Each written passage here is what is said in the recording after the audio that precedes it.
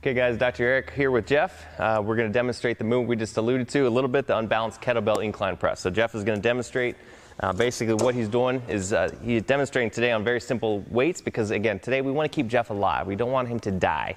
So basically he has an unbalanced weights um, in, in, his hand. You could do this with barbells if you don't have kettlebells, but the key is to have a, a, a, good difference in weight from side to side. So the advantage of this is similar to unilateral training, right? It's, it's un, unbalanced loading, so it's working obviously your core to keep yourself in a stable position, especially if you're doing like military presses or incline presses.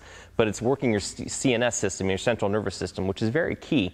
Obviously, your your mind-body connection uh, is is focal and very important for all muscle movements, especially think of things like deadlifts and squats. But all big compound movements, obviously, there's a coordination between your brain shooting a signal down your nervous system to your muscles, telling them to contract and do a certain movement. So uh, there is an importance there. So you want to train your heart, you want to train your muscles, you want to train your CNS system too. It's something that people forget about. Uh, you don't want to overdo it, but again, by having that unbalanced movement, you're telling your body you're, uh, you're doing something a little different here, and it's stimulating it uh, to respond and to react accordingly. Again, we're all about growing the muscle, burning off the fat, making your body as inefficient as possible. So this is another way to kind of trick your body to make it inefficient, make it think a little more.